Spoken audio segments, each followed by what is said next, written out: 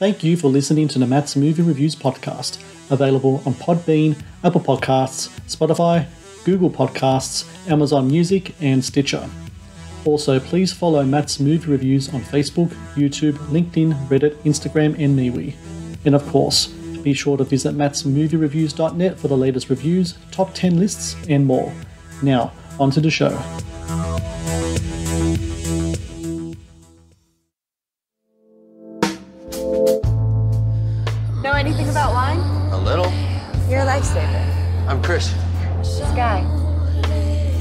Two sudden adventures. Adventure.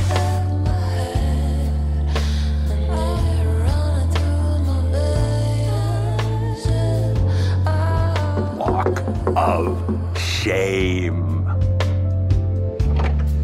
Hey, get away from my car, man. You don't want any problems. Wait, wait, wait, wait! Ladies, you're two weeks behind on the rent again. You're not gonna say anything? Explain where you were all night? I saw something on the news. Lisa! It's your roommate. Sky, you should probably contact the police. That would be stupid of me. Why? Because I'm the one who killed her. Expecting a package? How's the knee, dude? I do good work, don't I?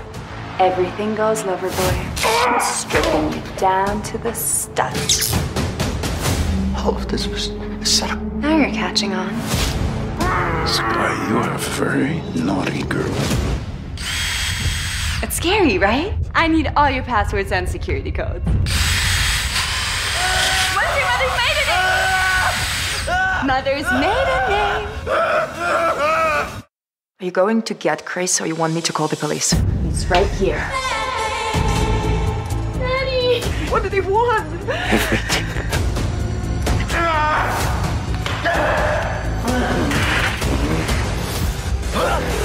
Okay, you're okay. I'm gonna get you out of here. Please state the nature of your emergency. My name is Christopher Decker. There's a woman in my house. She's imprisoned me against my will. She's trying to steal my identity. She, she wants to kill me. She... Thank God you came back, Chris. Thought I might lose you forever. You should have seen the look on your face.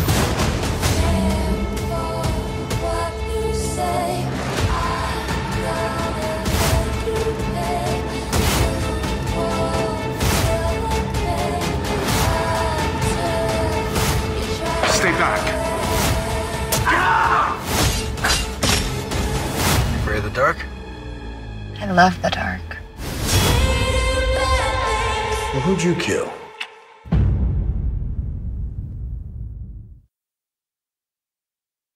Hello and welcome to the Matt's Movie Reviews podcast. I am your host, Matthew Pejkovic, and this is episode number 401. Releasing in the US on January 14th in select theaters and on demand is Shattered, a psychological thriller that stars Cameron Monaghan as a tech millionaire who is seduced by a sexy yet disturbed young woman played by Lilly Krug.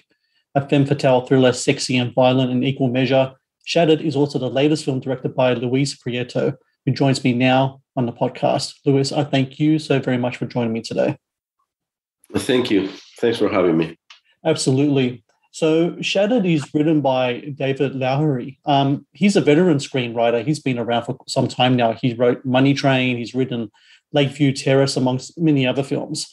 What is it about his script for Shattered that really spoke to you uh, to the point that you wanted to make the film as a movie, both as a director and a producer? Well, as you say, David is a fantastic writer. Um, I, I, really admire his his work. And when I got um, when I got the first draft of uh, Shatter, it was really a page turner. It was a script that you couldn't put down. So I really fell in love with the script from the from the very first uh, page. I would say, you know, uh, it had all the elements of a good thriller, at least the ones that I love uh, suspense, surprise, anxiety, excitement, plot twist.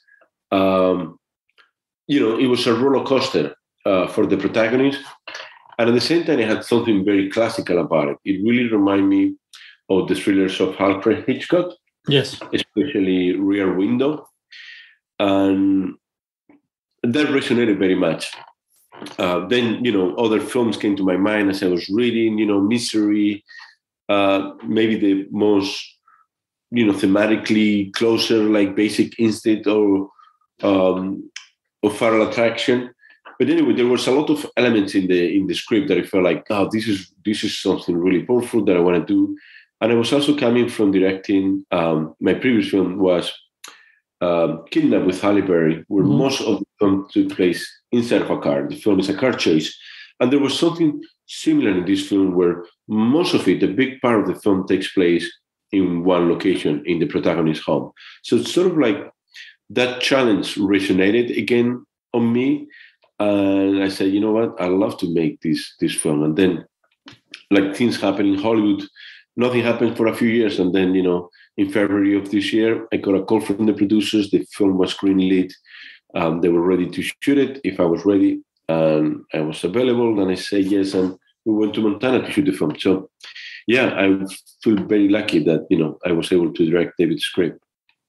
You mentioned Hitchcock before. Hitchcock, of course, had his his roster of blondes in his movie. You have your blonde in your movie here, portrayed by Lilly Krug. Uh, Lilly Krug, I should say. Uh, she plays the character of Sky. Sky is such a vital, important character. You've essentially cast a newcomer in that role, though, in Lilly. She's done a few roles, um, but this is really her first kind of leading role. What was it about Lilly that really spoke to you that this was the person who was going to play Sky in your movie? Well, as you said, you know, um, Lilly is an, an incredible actor, but is not known yet. This is her first lead role. So I think there was something very interesting about casting for the character of Sky, someone that people wouldn't recognize. So you don't have any uh, preconceptions about what this actor will bring or will not bring. Mm-hmm. Especially the fact her character has a few sides. You know, I don't want to say split personality because it's not that, but she definitely makes you believe that she is one person when in reality she is someone else. So it was really amazing to be able to have uh, someone of the caliber of Lilly, and also knowing that she was basically going to be discovered for the wider audience in this film in Shattered, I just feel personally very lucky to be able to say, hello, here is Lilly Krug, you know? Also in the film is John Malkovich. Um, he's also a producer on the movie as well. You know, what's it like working with uh, an actor like that? Um, because, you know, he's just such an iconic um, personality, both on and off the screen. I'm sure it would have been a joy for you to work with him. No, I mean, it's amazing because I think that as you said, you know, John is an, is is iconic. You know, he's uh, you know he's who he is. So the first time you mean John, inevitably you think about everything that comes with him. But then when you actually meet him in person and spend a little bit of time with him, you forget about all that because you just find a genuine human being, extremely generous, uh, incredibly smart and talented, like everyone knows, um, but just like an, an amazing, you know, person. So that you know you forget about everything else and just you just start, you know, spending time with a, you know, a great guy. You know, with uh, you know, just uh, uh someone, you know, one more. And in fact, he always made you feel not only me, the director, but everyone else in, in the crew the rest of the actors, he treated everyone the same. You know, like you you really felt that John was just someone just like you. You know, and that is, mm-hmm. that generosity. I think is what it makes everything else even more special. The fact that you can be working with such a talented actor that at the same time is such an incredible person is just uh, amazing. It's a gift. John, of course, has played his yeah, there has a long, very long career of playing madmen in his movies. In this in this movie, your mad person is of course played by Lilly uh, Sky. Does John give tips to Lilly? Does he give like little kind of you know things, tricks of the trade um, in portraying a character like that? Does she t- ask John for advice in regards to portraying a character with that type of mental state? Um, I don't think so. Um, not that I remember. Um, maybe in private happened and I don't know about it. But I think that from the very beginning, well, first of all, from the very beginning, Lilly was perfectly prepared for the role. She's incredible. She has an amazing intuition. He did an amazing work preparing her character. And then uh, what John has is also he has an incredible respect for everyone else in the set.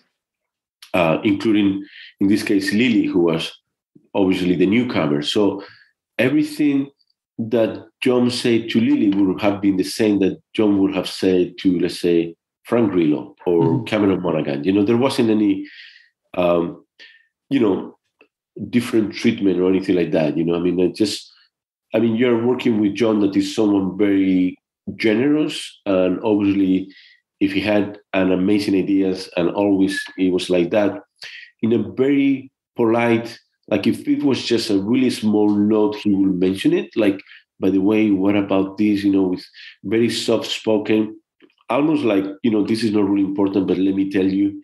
And you will hear it and it will be like oh my god this is such a great idea. So i'm sure that maybe lily had some insights the same way that i had um, when i was with him. But i guess you are in such a close um, uh, situations that you don't even notice. It's very uh, subtle everything you know with, with john the Matt's Movie Reviews podcast is brought to you by 80s Tees. 80s Tees is an online retailer of licensed t shirts and pop culture gear from your favorite movies, TV shows, cartoons, video games, comic books, and musicians. Celebrate your inner 80s nerd and click on the link in the show notes below to get the raddest retro t shirts delivered to your door. The Matt's Movie Reviews podcast is brought to you by Loot Crate Founded in 2012, Loot Crate is the worldwide leader in fan subscription boxes. Loot Crate partners with industry leaders in entertainment, gaming, sports, and pop culture to deliver monthly themed crates, produce interactive experiences in digital content, and film original video productions. No matter what you geek out about, Loot Crate has a subscription box for you. To get your very own exclusive collectibles, apparel, and gear delivered to your door, be sure to click on the link in the show notes below. The Matt's Movie Reviews podcast is also brought to you by Vudu. Watch the latest movies and TV shows anytime, anywhere. No subscriptions, no contract. Enjoy stunning quality in up to 4K ultra high definition at home and download and watch on your mobile device as well to rent and buy from over 100,000 titles or watch thousands of movies free with Vudu Movies on us, be sure to click on the link in the show notes below. Now, back to the show.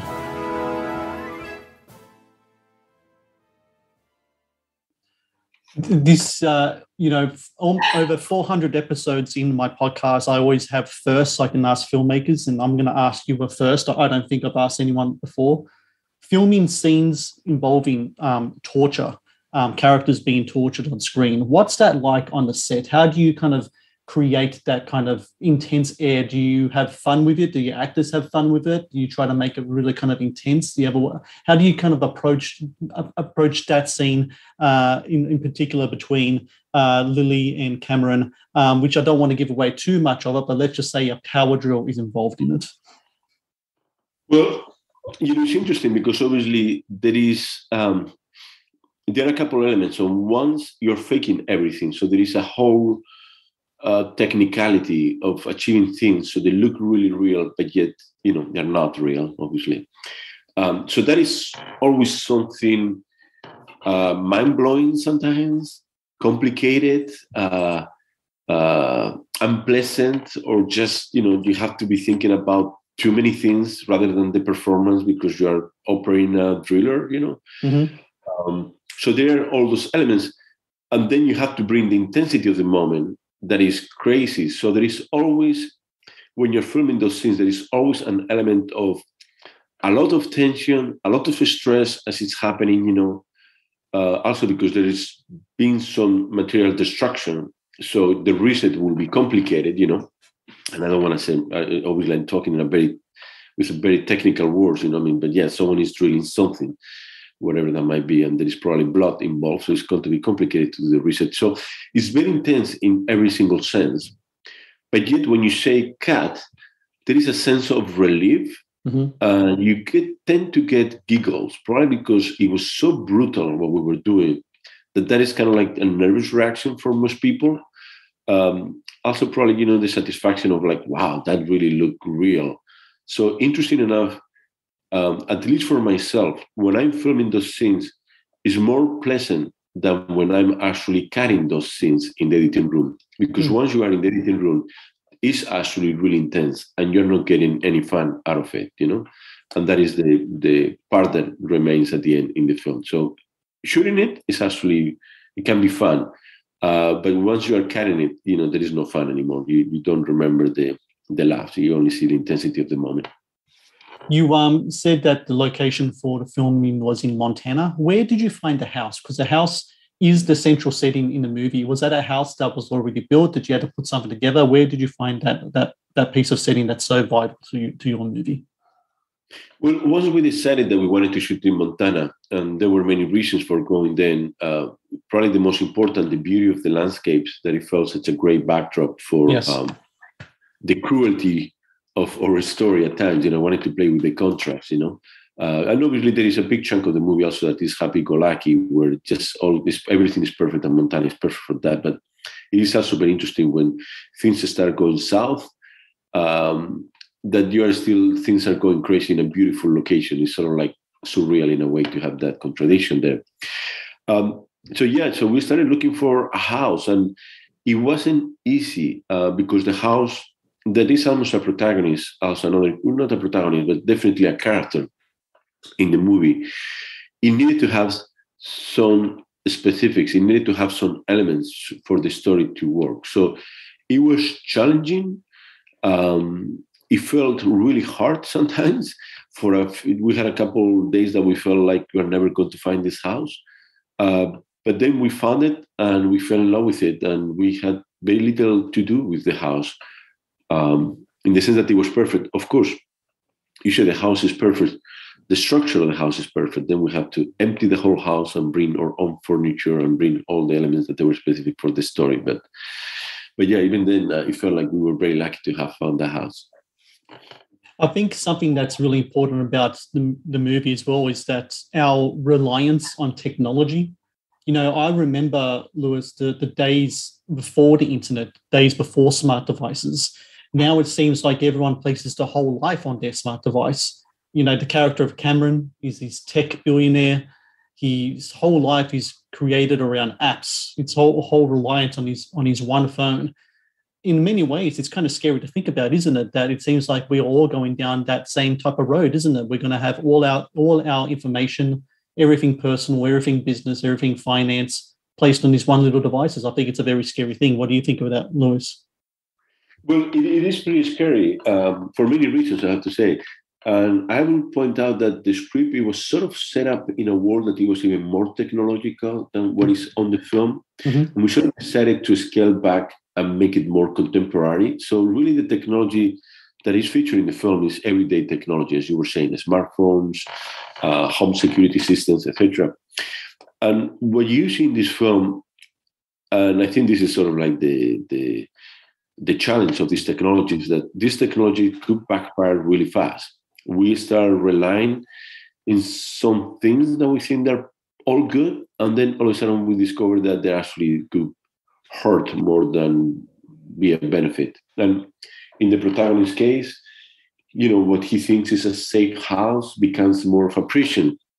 Uh, in humanity in general, you know, well, you know, how many hours have we spent in just looking at a screen where we see stuff that is not really interesting whatsoever, as opposed to doing something else, even if it's just looking up, you know, I don't know, out of the window and looking at the landscape or whatever. So, yeah, I think there is a little bit also of that um, in the film, you know, sort of like uh let's think a little bit about do we need all this? Is this any good? And again, you know, I don't think the film say yes or not. It just throws the question up there. Um, again, technology could be good or could be bad. It depends. It depends what you do with it.